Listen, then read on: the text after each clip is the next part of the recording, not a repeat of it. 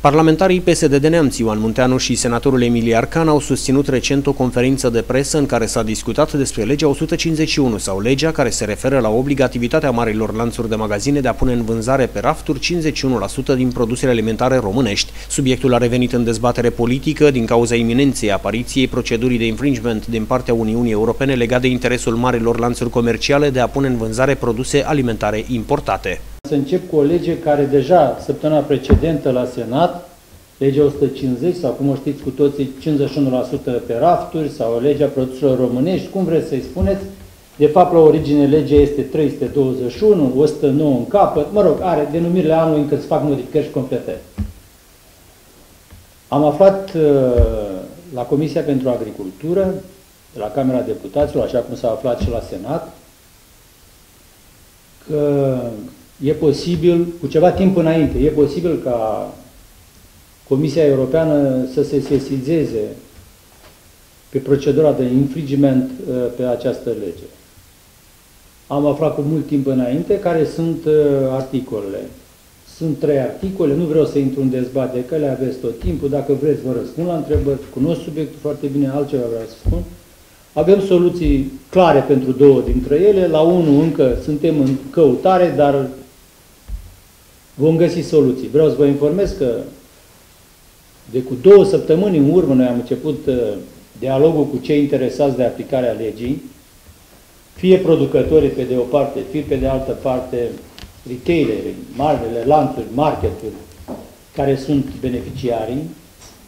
Nu i-am mai chemat, cum era obișnuința, pe toți odată ca să strige unul la altul și să acuze unul pe altul cât de bine o duce celălalt, ci am făcut discuții cu fiecare separat. E adevărat mai mult volum de muncă, dar asta e situația pentru a scoate ceva ce să fie fezabil, pentru că legea astăzi nu se poate aplica din cauza celor trei articole, că ne, poate, ne duce la soluția de infringement și pe de altă parte pentru că unor ministerul ăla care a guvernat trebuia ca din iulie anul trecut, de pe 17 iulie și până în noiembrie, să dea normele de aplicare.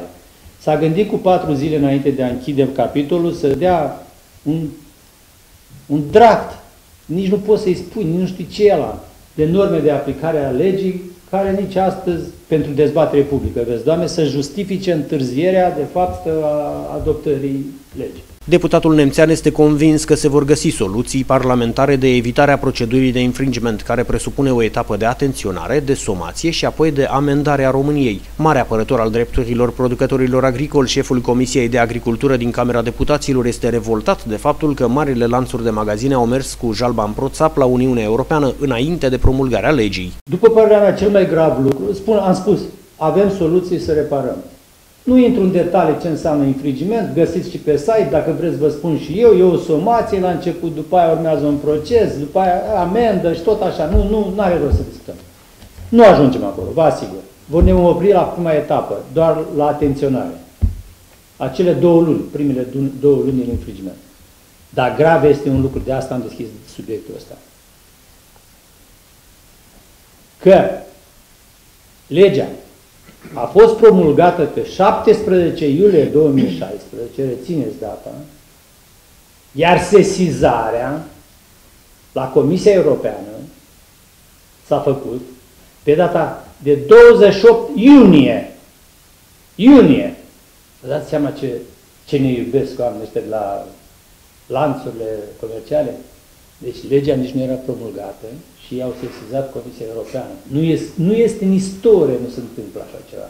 Și în comisiile din Senatul României au fost organizate consultări cu producătorii autohtoni și toate instituțiile statului, Ministerul Agriculturii, Consiliul Concurenței, Oficiul pentru Protecția Consumatorilor, interesate în modificarea celebrei ordonanțe 150. Da, miercuri am avut întâlnire cu crescătorii de animale, uh, producătorii de brânzeturi, de carne, de ouă, de Ehm, tot ce înseamnă produs agricol, inclusiv cu reprezentanții Ministerului Agriculturii, cu reprezentanții Consiliului Concurenței, cu reprezentanții ai OPC-ului, cu uh, toate instituțiile care uh, uh, au venit cu uh, idei, cu propuneri, cu astfel încât să venim cu soluții bune pentru a se uh, modifica această această lege, ă, ordonanță 150.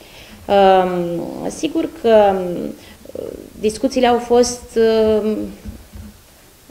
au fost așa de multe încât au durat vreo 5-6 ore și așa cum spunea domnul deputat, dânsii de la Camera Deputaților au practicat o altă tehnică, să discute cu fiecare instituție în parte și să preia toate ideile astfel încât, chiar dacă a presupus o muncă mult mai intensă.